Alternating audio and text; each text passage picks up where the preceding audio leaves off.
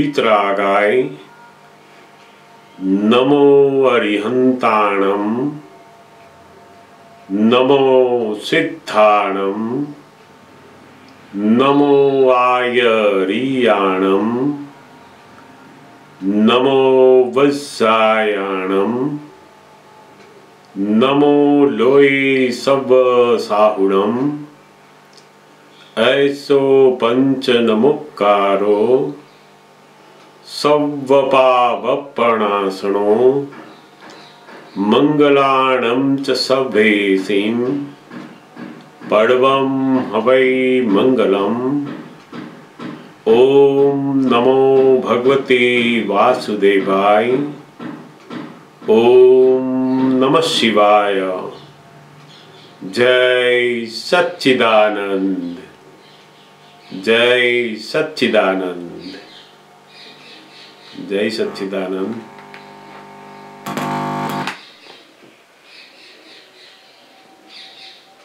કવિરાજનું પદ સાંભળીએ આપણે?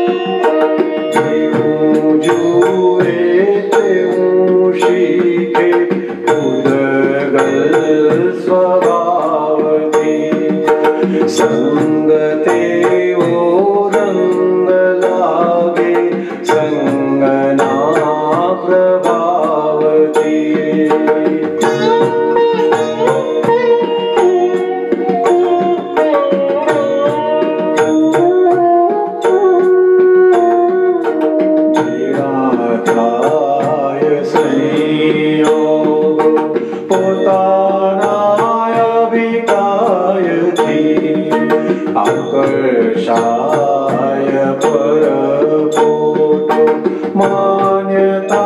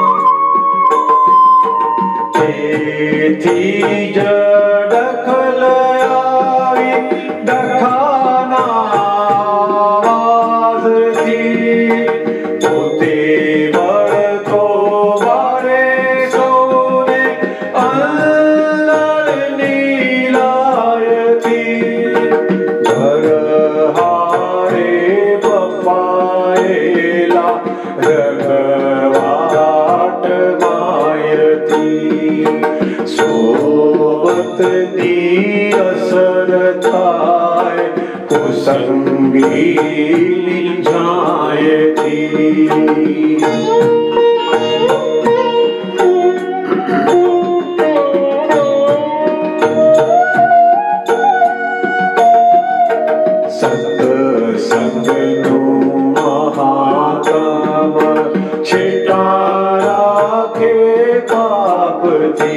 you.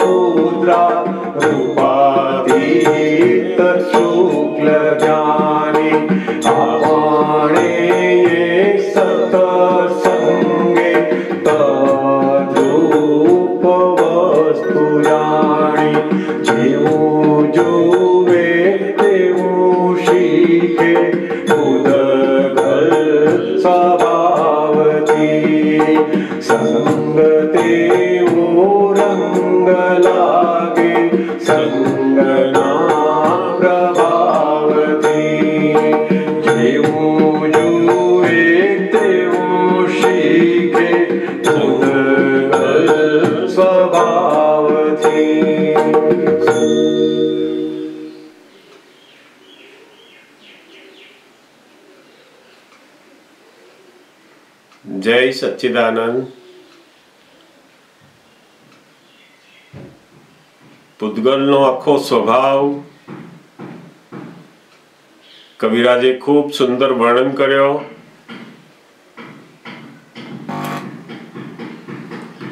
જેવું જુએ એવું શીખી જ જાય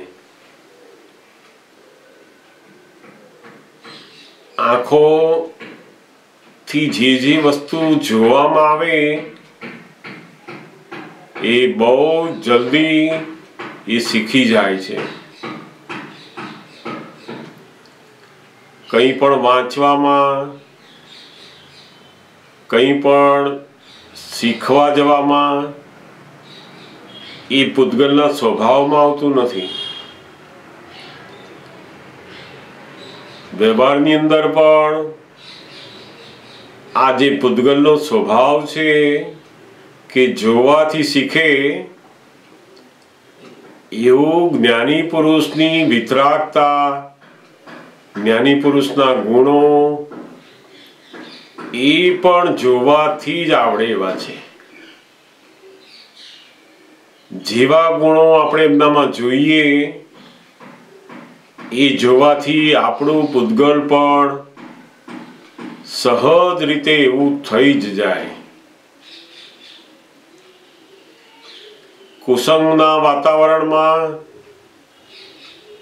કુસંગી જોડે આપણે રહીને જે જોઈએ છે, એ પણ આપણું પૂતગલ તરત જ અંદર શીખી જાય છે. એવું સત્સંગના વાતાવરણમાં પણ સત્સંગની બધી વાતો લોકોને જોવામાં આવે અને જ્ઞાનીને જે જોવામાં આવે, ત્યારે આપણું પૂતગલ પણ એ જ્ઞાની જોઈને બધા ગુણો અંદર આવતા જાય. દાદા ભગવાન કહેતા ને કે તમારે અમારી પાસે બેસી જ રહેવાનું, કશું કરવાનું નહીં. બસ અમને જોયા કરવાના. જેમાં કૂતરાનું બચ્ચું હોય ને નાનું તે નાનું હોય તે વખતે એની મધર જ્યારે બસતી હોય તે જોયા કરે એને. ક્યાં આગળ બસે છે, કેવું બસે બધું. અને એ બે જ મહિનાની અંદર બધું એ શીખી જાય છે. એવું જ્ઞાનીના જે ગુણો છે એ ગુણો આપણે જાતે શીખવા જઈએ તો તો બહુ મહેનત, બહુ જ વાર લાગે. કારણ કે સૌથી સહેલું શું છે? તો કે આ પૂદગલનો જે સ્વભાવ છે, તમે જેવું જુઓ ને એવું શીખી જાઓ. જેમ દાદા ભગવાન પાસે કોઈ એમનો વિરોધી આવે અને એ દાદા ભગવાનની સામે એમનું અપમાન કરે. એ વખતે દાદા ભગવાનની જે દશા છે, એમની જે વિતરાગતા છે, એમની જે કરુણા છે, એમનું કલ્યાણક જે ભાવ છે,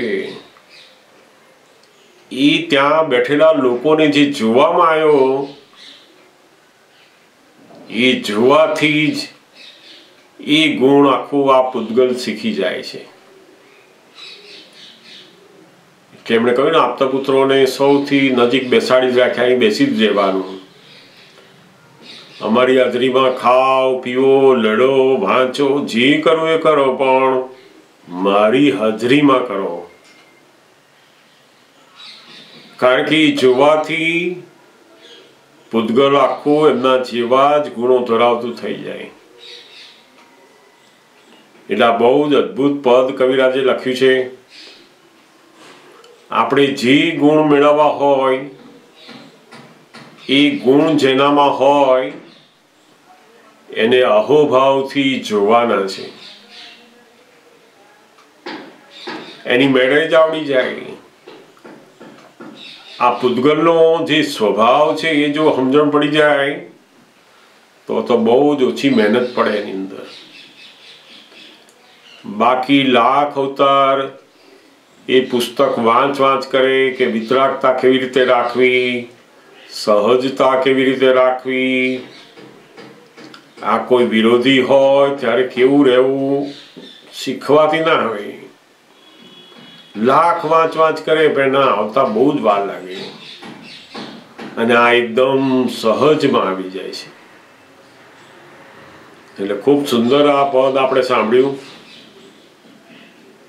તમારામાંથી જો કોઈ પ્રશ્ન હોય તો જરૂરથી આપણે વાતચીત કરીએ એની. તો પૂછશો તમે.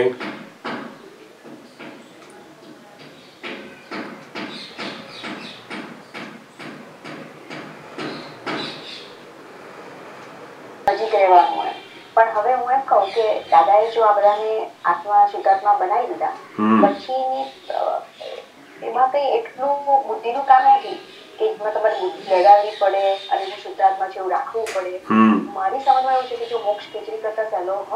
તો કઈ કરવાનું રહેતું જ નથી. આપણે એ સ્વરૂપ થતા જ જોઈએ છીએ. બરાબર. હવે શું થાય છે કે આપણા જે બધા સંજોગો આવે છે એમાં આપણને જ્ઞાન હાજર નથી રહેતું. અને આપણું અજ્ઞાન હાજર થઈ જાય છે પહેલા. તો એના માટે એવું કંઈ હોય કે જેમાં દાદાએ જે સત્સાધન આપ્યા છે કે ભાઈ અ, ચરણવિધિ કરો અ, વિધિકાર કરો તો એ બધું આપણે જે કરવાની આજ્ઞા આપી છે એ જો તમે ફોલો કર્યા કરો. આખા દિવસમાં વિધિઓ કરો વાંચન કરો અમ, અસીમ કરો પદો ગાઓ. તો એનાથી ધીમે ધીમે તમારી સ્થિતિ આવતી જ જાય કે પછી તમારે આ કોઈ પણ સંજોગો આવે છે તેને ઇવેલ્યુએટ કરવા પડે કે ભાઈ આમાં આમાં મારું લોભ આવ્યો કે આમાં મારું ફલાણું આવ્યું પછી એમાં તમે આજ્ઞા ગોઠવો છો. એ આ જોવું પડે તમારા દોષની અંદર કે પછી આ સીધું આવું કર્યા કરવાથી પણ થઈ જઈ શકે. ના એટલે આ કેવું છે? આ કેવું છે કે આ જે સત સાધન છે. એ સત સાધન જ્ઞાનીની આજ્ઞા મુજબ, એમની દ્રષ્ટિ મુજબ આપણે જો ઉપયોગ કરીએ, તો આપણી આત્મ જાગૃતિમાં વધારો કરે છે. આપણું જે ચિત્ત છે, એને શુદ્ધ કરવા માટેના આ સત સાધનો છે. પછી એ સત સાધનોથી ઉત્પન્ન થયેલી જે જાગૃતિ છે,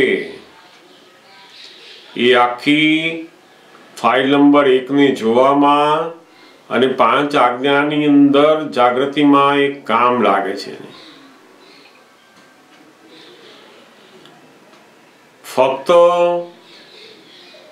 એ આ સત સાધન જ કર કર કર કર કર્યા કરે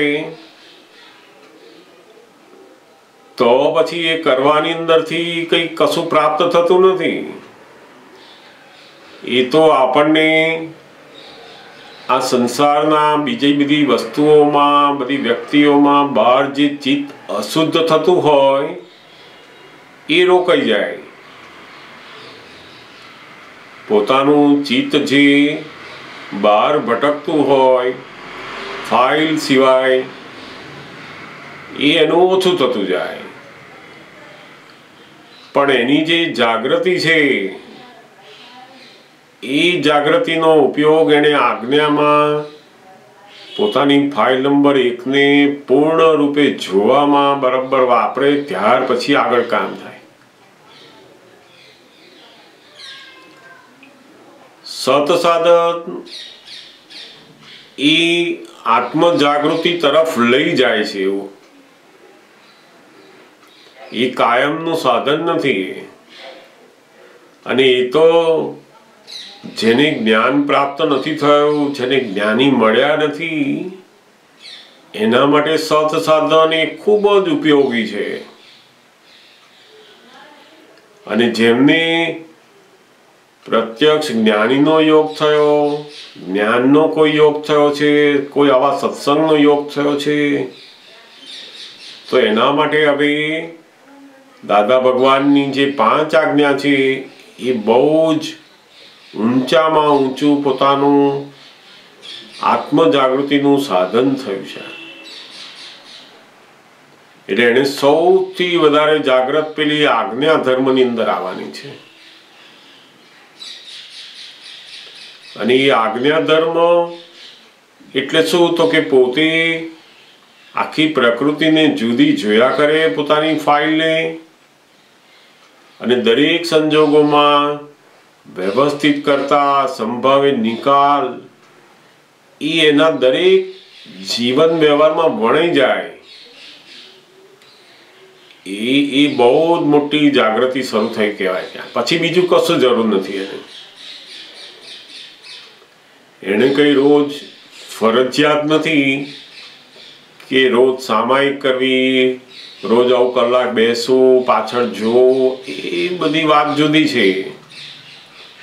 સૌથી મોટી આ વાત કે જેની હું શુદ્ધાત્મા છું એવું લક્ષ બેઠું, એણે પછી જ્ઞાની પુરુષની જે આજ્ઞા છે, એને સૌથી વધારે મોટામાં મોટું સાધન એને પ્રાપ્ત થઈ ગયું. અને એ પ્રાપ્ત થયા પછી બધી જ જાગૃતિ, બધો જ પુરુષાર્થ ત્યાં મૂકવાનો છે એને, બસ. સત સાધન એ તમને આત્મ જાગૃતિ તરફ લઈ જાય, શુદ્ધતા કરે છે. પણ એ કોઈ એવું જ્ઞાન નથી એમાં કે આપણે આપણી પ્રકૃતિને આખી ઓગાળી શકીએ, પ્રકૃતિને આખી જુદી જોઈ શકીએ એમાં.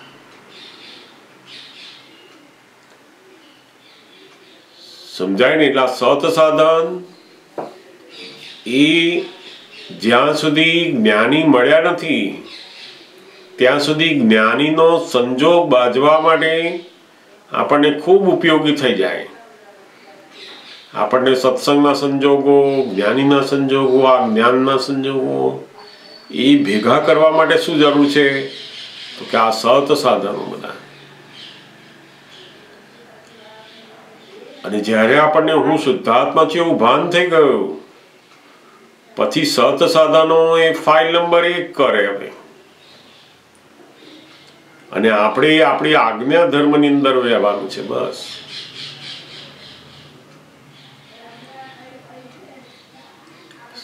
એનો પુરુષાર્થ હવે આજ્ઞા ધર્મનો શરૂ થયો હવે સમજાય ને? હા એ સમજાયું હવે આજ્ઞા ધર્મ છે એ તો શું છે?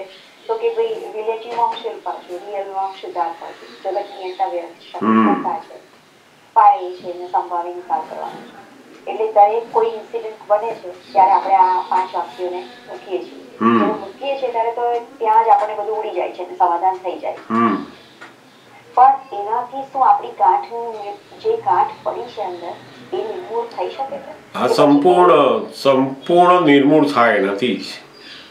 કારણ કે આ બધી જે ગાંઠો છે ને એ આજ્ઞા પાડવાની અંદર તપ ઊભું થાય છે. આપણે સંભાવે નિકાલ કરવાનું વ્યવસ્થિત અંદર તો બૂમા બૂમ કરતી હોય પેલી ગાંઠ. તમે કહો છો વ્યવસ્થિત એવું કેમ ચાલે? મારે જ સંભાવે નિકાલ કરવાનો, મારે જ આ બધું આવું સમજવાનું જાત જાતનું પેલી ગાંઠો બૂમા બૂમ કરતી હોય અંદર.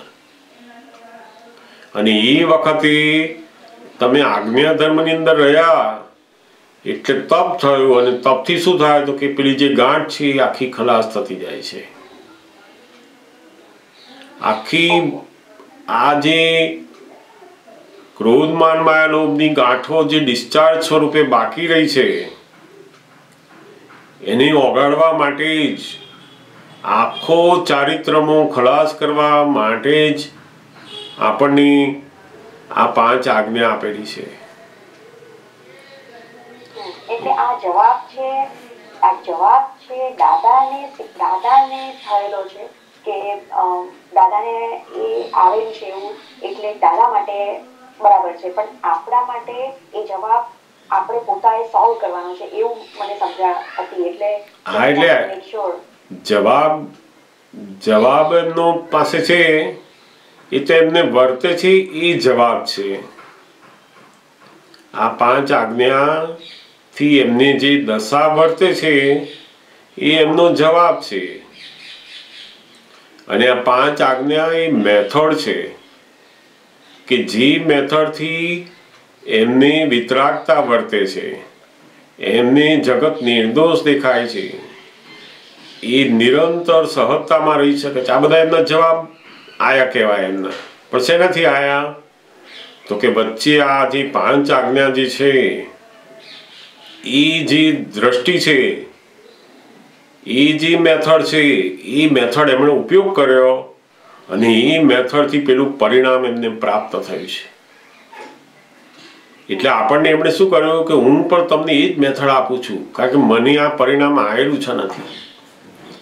જેમ કોઈ એક વસ્તુ કોઈ વાપરી હોય કે જો ફલાણી વસ્તુ છે ને, એ તમે વાપરશો ને તો તરત જ એનું રિઝલ્ટ મળશે. કારણ કે એના અનુભવમાં છે, એવું જ્ઞાની પુરુષે એમનું જે જવાબ આવેલો છે એમનું જે પરિણામ એમની જે દશા છે એ દશા શેના આધારે આવી? તો કે આ વચ્ચે જે પાંચ આજ્ઞાનું જે દર્શન છે, દ્રષ્ટિ છે એમની પાસે, એ દ્રષ્ટિએ કરીને પેલો જવાબ આવ્યો છે એમનો. પાંચ આજ્ઞા એ જવાબ નથી. પાંચ આજ્ઞા એ દ્રષ્ટિ છે ને મેથડ છે. જ્ઞાની એ હંમેશા આપણને મેથડ આપી શકે. બીજું કંઈ આપણું કરી ના શકે તમને મેથડ આપે કે હું જે રસ્તે ગયો છું, મેં જે વાપર્યું છે અને મારી જે દશા ઉત્પન્ન થઈ છે, એ જ હું તમને આપું છું. એટલે પાંચ આજ્ઞા એ દ્રષ્ટિ આપણને આપી દીધી હવે કે તમે જો આ વાપરશો ને તો પેલું મારું જે પરિણામ આવ્યું છે, મારો જે જવાબ આવ્યો છે ને, એવો તમારો પણ આવશે. અશોકભાઈ, એટલે એક કંઈક એક્ઝામ્પલથી સમજાવો ને ધારો કે આપણા આપણે કોઈ કેવો પ્રસંગ બને અને એમાં આપણે આપણે બોલી ગયા કશું જે નહીં બોલવાનું તે બોલી ગયા. પછી આપણે એને જોઈએ તો પાંચ આજ્ઞા તરત આપણને હાજર થાય કે અરે રિલેટિવ છે આ બધું રિયલમાં તો આપણે વસ્તી પણ સુધારમાં છે પણ સુધારમાં છું આપણે આ બધું ગોઠવી દઈએ છીએ. તો એ સમયે આપણે આ બધું જોવાની જરૂર છે કે ભાઈ આ કઈ ગાંઠ નહીં જોવાઈ જોવાઈ જાય. પેલી જાગૃતિ જે છે ને એ અંદર એની મેળે કામ કરે જ જાય તો. એમાં કઈ એમાં કઈ આપણે જોવું પડે એવું છે નહીં. પણ આપણી જે જાગૃતિ છે આપણને જે જ્ઞાનની સમજણ ફિટ થયેલી છે એ સમજણ અંદર કામ કરે જ જાય તો. ખ્યાલ આવે છે?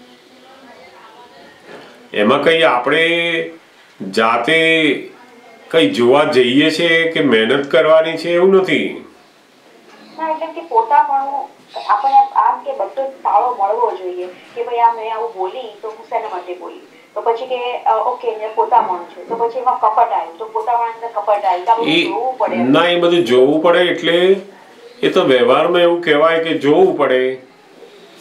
પણ તમારી જાગૃતિ સમજણ જેમ જેમ વધતી જશે ને એ સમજણ જ અંદર બધું કામ કર્યા કરશે પછી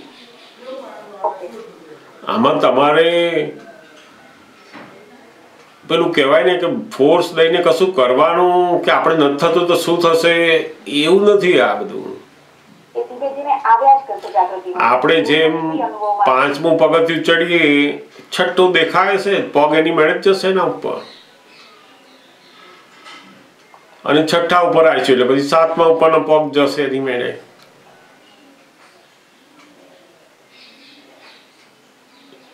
ને એ- બધું પેલું જાગૃતિ કામ કરશે.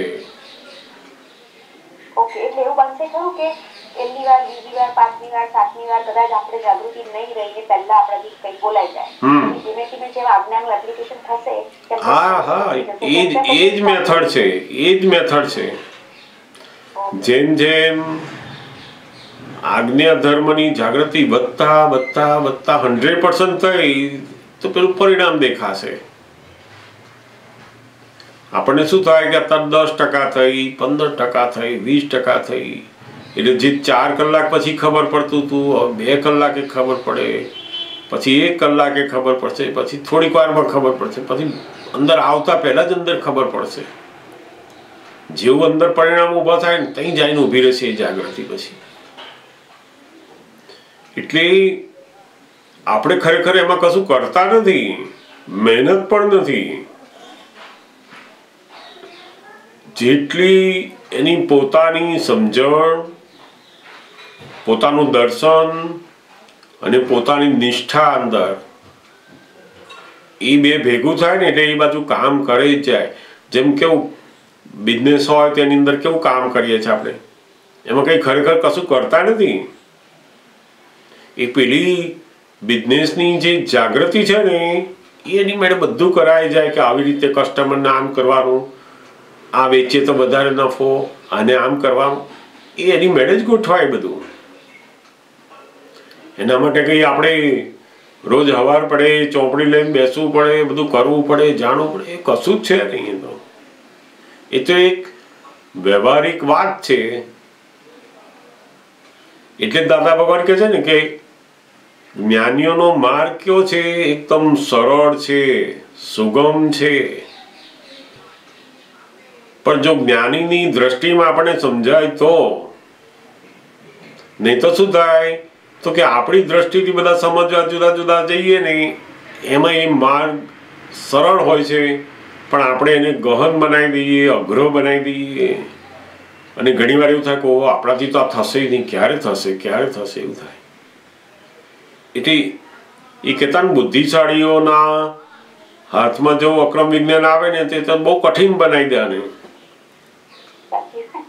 આ તો સરળ, સહજ, આનંદનો માર્ગ છે. આમાં તો તમને જે નફો થયો એનો મજા કરવાની છે અને આનંદ કરવાનો છે. ઓહો, મને ક્યારેય શુદ્ધાત્મા નહોતા દેખાતા. આજે દેખાતા શરૂ થયા. પાંચ કલાકે છો દેખાયા. પણ દેખાતા તો શરૂ થયા. મને કેમ નથી દેખાતું? એવું નહીં. મને દેખાતા શરૂ થયા અને હે દાદા, ભગવાન, મને શક્તિ આપો કે ફરી પાછા દેખાય વધારે. એટલે પાંચ આજ્ઞા એ દાદા ભગવાનનો જવાબ છે એવું નથી. એ તો મેથડ છે, આખા જગતને એમણે આપ્યું છે, આ પાંચ આજ્ઞા તો. આ તો આખો વિતરાગ માર્ગનો બહુ મોટો સિદ્ધાંત એમણે પાંચ વાક્યોની અંદર મૂકી દીધો છે. અને એ મેથડ, એ ટેકનિક એ આપણને આપી છે કે મેં આ વાપર્યું અને હું આ જગ્યાએ પહોંચી શક્યો છું, તમે વાપરશો તો તમે મારી જેવી જગ્યા ઉપર આવી જશો. અમને જે વર્તે છે આજે એ પરિણામ છે, એ મારો જવાબ છે, પણ શેનાથી આવ્યો? તો કે આ દ્રષ્ટિથી આવ્યો છે મને. કેટલાય જન્મોથી અમે આ દ્રષ્ટિને વાપરતા વાપરતા વાપરતા આવેલા ત્યારે આજે આ જવાબ આવ્યો છે. અને તમે તો આ જ ભાવમાં તમને આ દ્રષ્ટિ મળી અને અત્યારે બધા તમારું તો આવવા માંડ્યું છે કે છે. આપણે તો આ દસ વર્ષ કે પંદર વર્ષ એ તો કેટલા જન્મોથી આ. એમના જે જવાબ છે, એમની જે દશા છે, એમને જગત નિર્દોષ દેખાય છે, આ બધું વર્તે છે. એ બધો એમનો જે જવાબ છે, કેટલા જન્મોથી કરતા કરતા આવ્યા છે તો આપણને તો દસ વર્ષ, પંદર વર્ષ, વીસ વર્ષમાં અને તે પણ આપણે કશું એના માટે કર્યું નથી પાછું. નથી કોઈ સાધના કરી, નથી કોઈ જપ તપ કર્યા, નથી કોઈ ઉપવાસ કર્યા. બધું ખાઈએ પીડીએ ફરીએ, બધું કરીએ છીએ છતાંય વર્તે છે. એટલે એમની જે પાંચ આજ્ઞા છે, એ જ આપણો પુરુષાર્થ, એ જ આપણી દ્રષ્ટિ અને એ સાધન એવું છે કે આપણને લઈ જશે કેવળ જ્ઞાન દશામાં. દાદા ભગવાન જેવી જ, વિતરાગ ભગવાન જેવી જ, સિમંદર સ્વામી ભગવાન જેવી જ, મહાવીર ભગવાન જેવી જ દશામાં આપણને મૂકે એવી આજ્ઞા ધર્મ આપ્યો છે આપણને. આજ્ઞા ધર્મ એ જેને બીજ નાખ્યું એ દરેક વ્યક્તિ માટે છે આ. પણ શબ્દ રૂપે એક જ છે કે ફાઇલનો સંભાવ્ય નિકાલ પણ એ શબ્દની પાછળનો જે મર્મ છે, સમજણ છે, એ દરેકને જુદી જુદી લાગુ પડે જેવી જેવી ફાઇલ પોતાની. જે મારા માટે ફાઇલનો સંભાવ્ય નિકાલ હોય, તો હું જે જગ્યાએ કોઈ વસ્તુને લઈને સંભાવ્ય નિકાલ કરતો હોવ. અને બીજા માટે એનો એ જ સંભાવ્ય નિકાલ એને બિલકુલ એ વસ્તુને અડે નહીં તો સંભાવ્ય નિકાલ છે. એટલે સંભાવ્ય નિકાલ એ દ્રષ્ટિ છે તમારી. તમે કેવા સંજોગોમાં તમારી ફાઇલ નંબર એક કેવી રીતે છે, ત્યાં એનો ઉપયોગ છે. એટલે જેમ જેમ વ્યવસ્થિત ફાઇલનો સંભાવ્ય નિકાલની સમજણ આપણી વધતી જશે. એમ આપણું શબ્દ એના એ જ રહેશે. ફાઇલનો સંભાવ્ય નિકાલ. પણ એના માટેનું દર્શન એ તમારું પોતાનું થઈ જશે. બધા માટે શબ્દ તો એક સરખા જ છે. પણ બધાને એની સમજણ જુદી જુદી હોય. જેમ દસ વર્ષનો છોકરાને સોની નોટ આપીએ, તેને ખબર પડે કે પૈસા છે. એટલું ખબર પડે, પણ સો છે એ ખબર ના પડે. તો સોની નોટ તો છે જ એની.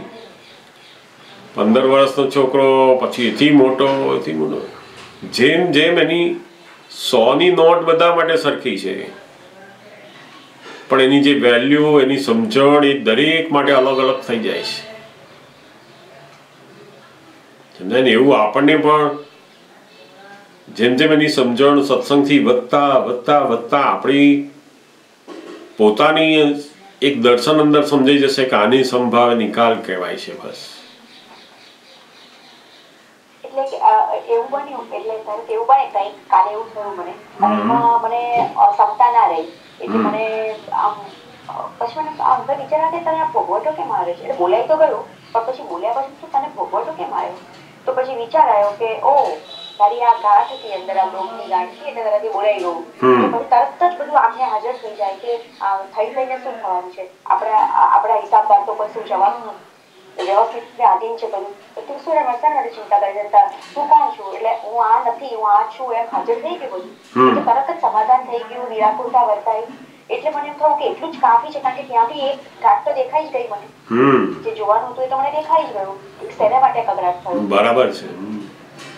એટલે આ આ બરાબર કહેવાય ને બરાબર છે. તો પેલી જાગૃતિ જ અંદર બધું બતાયા જ કરશે.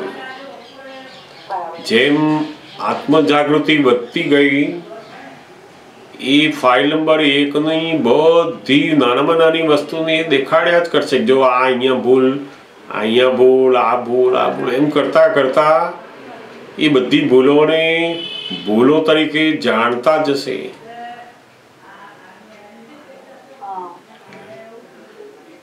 અને એને ભૂલો તરીકે જાણતા ગયા, એટલે આપણે આપણી દશા વધતી જ ગઈ, વધતી જ ગઈ. બહાર જે વર્તન થયું, એમાં આપણને ક્ષમતા ના રહી એ જાણ્યું એને જ ક્ષમતા કહેવાય છે. હમ, ફાઇલ નંબર એક ક્ષમતામાં નથી રહી. એવું આપણે જાણ્યું. એટલે આપણે પોતે આ ફાઇલ નંબર એકથી જુદા પડ્યા છે. એ મોટા મોટી પહેલી ક્ષમતા. મને થયો એ નથી લેવાનું. ફાઇલ નંબર એકને ક્ષમતા રે કે ના રે એને આપણે એને અડવાનું જ નહીં કે ના રહી તો આપણે જાણનાર છે ત્યાં.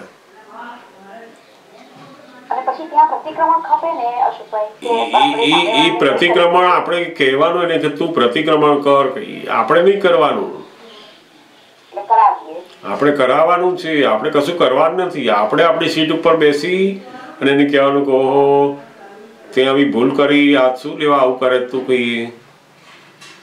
તારે જ્ઞાનીની આજ્ઞામાં રહેવાનું છે, તું આ ભૂલ ના કર કઈ પ્રતિક્રમણ કર ફરી. અને જેવું પ્રતિક્રમણ કર્યું, એટલે પેલી જે ભૂલ આ જે ક્ષમતામાં ના રહેવા એ શું છે? તો કે આપણે પેલી ફાઇલ સાથેનો જે વ્યવહાર પૂર્વે લઈને આવ્યા છે ને, એ ઉકળ્યો આજે. કોઈક માણસ જોડે આપણે બહુ કઠણ વાણી નીકળે. કોઈક વ્યક્તિ સાથે એકદમ આપણું ખરાબ કરતી હોય ને તો એની જોડે સોફ્ટ વાણી નીકળે. આપણને થાય કે આવું કેમ છે? આ મને મદદ કરે છે તો એના માટે કેટલી કડક વાણી નીકળે છે.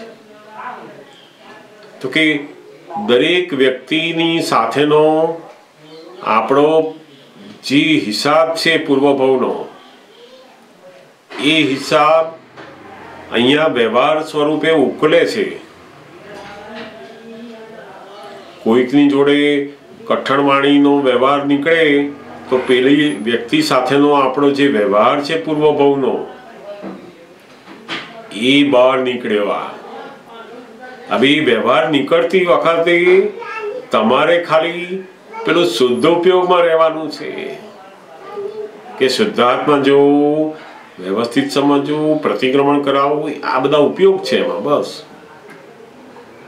અને જે પ્રતિક્રમણ જે આવે એ પાર્ટમાં. તો હવે ધારો કે પ્રતિક્રમણ મને એવું પછી ફીલ થયું કે આ તારી તારા ડખાથી તારી આ કાંટને લઈને આપણે સામેવાળાને કહી દીધું કઈ તો એને દુઃખ થઈ ગયું ને? તો આપણે દુઃખ ના હોય મારા નિમિત્તે કોઈને પછી પ્રતિક્રમણ ખપે કે પ્રતિક્રમણ આખું કઈ? એવા પાછી બીજી રીત છે? ના એ રીત નથી પણ આપણે જ્ઞાનીએ બતાવેલી રીતને આપણે ઉપયોગ કરીએ તો સારું એમાં.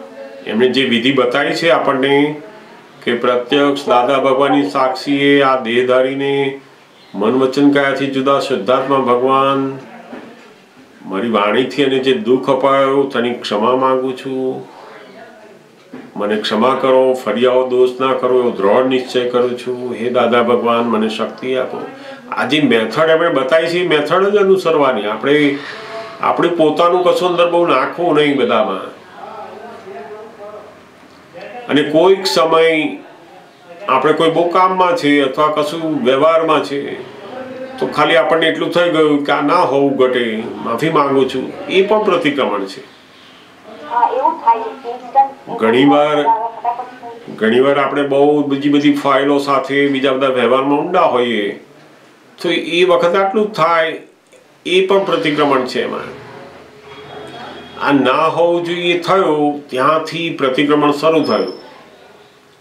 અને સૌથી શ્રેષ્ઠ પ્રતિક્રમણ કયું? તો કે પેલું અંદર જ્ઞાનીની આજ્ઞા મુજબ અને આપણે શુદ્ધાત્મા રહીને કરીએ પાછું.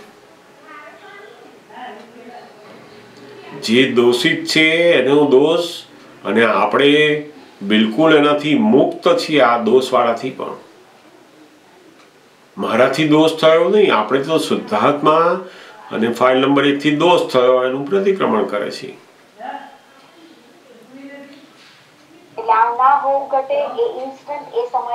એ પણ પ્રતિક્રમણ છે પણ એ એ જાતું પ્રતિક્રમણ એટલે કે આપણે પેલા વ્યવહારમાં છે એટલે ક્યાં આખું બધું કરવાનું છે? એવો ટાઈમ ના હોય ઘણીવાર. અથવા આપણે કોઈ એવું કરી શકીએ પણ નહીં. તો કઈ વાંધો નહીં. પેલું થઈ ગયું તમને. કે આ ના હોવું જોઈએ? એટલે તમે ત્યાં પ્રતિક્રમણ થઈ ગયું. પછી નવરા પડીએ. અને જો યાદ આવે આપણને તો વધારે એનું કરવાનું. પણ આ વ્યવહારની અંદર કોઈ વાર કોઈ જોડે કઠણ વાણી નીકળી કોઈની જોડે લડવાનું થયું બોલવાનું થયું કહેવાનું આ બધું જે થઈ રહ્યું છે, એનો મતલબ એવો નથી કે આપણને જ્ઞાનની સમજણ નથી અથવા જ્ઞાન રહેતું નથી. આ આપણે બહુ મોટી ભૂલ કરીએ છીએ કે આપણે પેલી બોલવામાં, વર્તનમાં, બધામાં જ્ઞાનને શોધીએ છીએ કે અહીં કેમ નથી રહેતું, અહીં કેમ નથી રહેતું. તો કે એ જ્યારે નીકળતું હોય, ત્યારે તમે શુદ્ધાત્મા તરીકે રહો એ જ્ઞાન છે. તમારી વાણી કોઈના માટે સોફ્ટ બોલાતી હોય, સરસ બોલાતી હોય, ત્યાંય તમારે શુદ્ધાત્મા રહેવું એ જ્ઞાન છે. હું સારી વાણી બોલું છું, કેવું સરસ પેલા દુઃખ ના થયું, તો મને જ્ઞાન છે, એવું નથી. એ તો બધા જગતના લોકો તો બહુ સરસ એવું બધા બોલી શકે છે તો. આ લોકો જગતના લોકોને ગાંઠ હોય તો એ લોકો સરસ બોલી શકે તો. તો કે એવું નહીં. જ્ઞાનીને તો જે આ જ્ઞાન છે એનું પરિણામ ક્યાં હોય? અંદર હોય પહેલા. કે એનાથી સારી વાણી બોલાય છે, એનોય પોતે માલિક નથી થતો, અને પોતાનું ખરાબ વાણી બોલાય છે, એનોય માલિક એ નથી થતો. અને જ્યાં ખરાબ બોલાય છે, ત્યાં એ ભૂસી નાખે છે પ્રતિક્રમણથી બસ. સમજાય ને મોટા ભાગે આપણે વ્યવહારની જે સમજ છે આખી એ જતી રહે એટલે પાછું પેલું નિશ્ચય વાળો ભાગ આખો ત્યાંથી જતો રહે છે. આપણે વ્યવહારને પેલા બદલવા જઈએ છીએ. આ જે વ્યવહાર મીટીને લાયા હોય ને એ જ ઉકળે તો.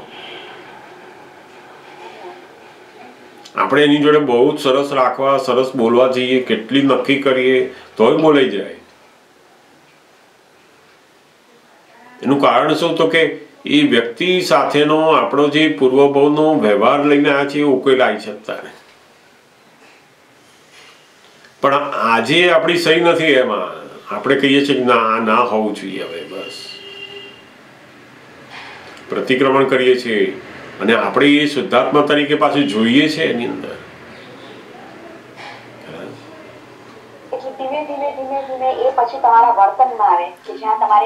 એ તો પેલો. પેલું પેલું વ્યવહાર ખાલી થઈ જ જશે બધો આજે કઠણ વાણીનો કડક વાણીનો કે જે કંઈ બધા એવા બહાર વ્યવહાર નીકળે છે ને ધીમે ધીમે ખલાસ થતા થતા ખલાસ થઈ જવાના પછી.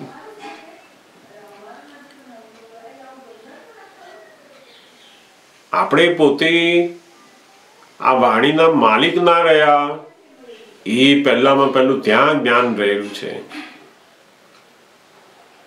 સારી વાણીની અંદર પણ એને ખુશ થતો હોય, તો તે તો પાછું જ્ઞાન જતું રહે એનું. એટલે પછી શું થાય છે, જ્યારે એનું ધારેલું બોલાય નહીં, અથવા કોક વાર ખરાબ બોલાય જાય ને તો આખી રાત એને ચેન ના પડે પછી, કે મારાથી આવું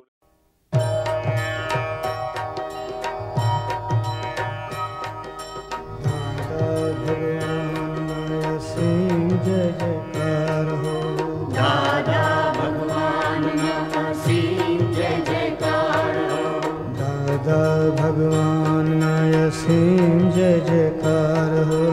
दादा भगवान् असीम कार भगवाय जा गागा भगवाय असीम जय जयकार हो। जकार भगवा